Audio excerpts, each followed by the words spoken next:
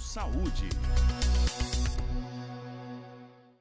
Agora nós vamos ver os números da vacinação no Brasil contra a Covid-19 e eles estão aqui no nosso telão. Até o momento foram distribuídas pelo Ministério da Saúde 184 milhões 488 mil 744 doses a todos os estados.